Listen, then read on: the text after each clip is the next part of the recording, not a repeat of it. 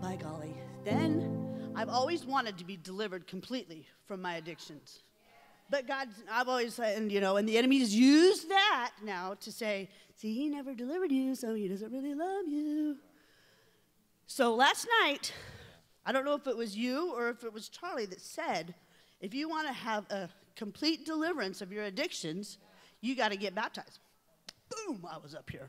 You saw me. I come, sat right down. I said, that's me. That's what I need. That's the final kicker. I get in the water, the apple wide.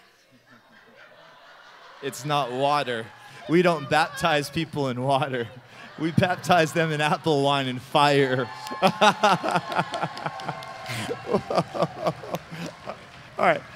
All right, Heidi. Heidi, what happened already? So I get in the water, and I tell you my story. Y'all know, you guys saw it, or if you didn't, watch it on the thing. And I went down, and when I come up out the water,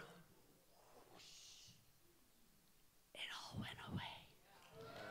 Hold on. What what what went away? All of my addictions, my shame, my guilt, my fears, my preconceived notions of what I need to be for Christ, how I need to be, and how I need to act. None of that matters because all it is is I need to be here for Jesus. I need my life is not my own anymore. How, how has how has today been different? Now it's your first day as a delivered woman. How's today been different? Okay, oh, so I so I tried because the one thing that it was really hard for me to quit was cigarettes.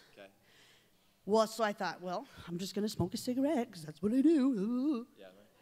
I couldn't do it. Couldn't do it. Yeah. I lit it up and it tasted so nasty. I was like, so I threw it out. I littered. I threw it out the window. I haven't done them. Wow. I got them right here. I was gonna throw them away. I was gonna stomp them on the ground. Is that okay? You got them right now? Where are they at?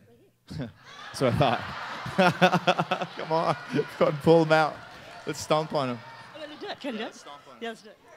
Anybody else that wants to get set free tonight, pull out your cigarettes. Hold on, hold on, hold on.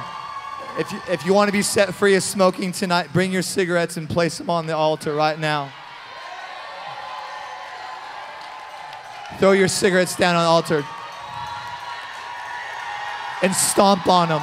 Go and stomp on them. Go and stomp on them.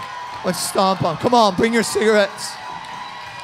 Stay here, guys. Stay here. Stay here, bro. Stay here. Stay here, bro. Let's get catchers behind these guys right now. Throw your cigarettes down on the altar. Yep, yep, yep, yep, yep, yep, yep. Jesus has something way better, bro. Jesus has something way, way, way better. Come on. Come on. Guys, put out your hands. Jesus is just going to love you tonight. And not only that, but he's going to heal your lungs tonight.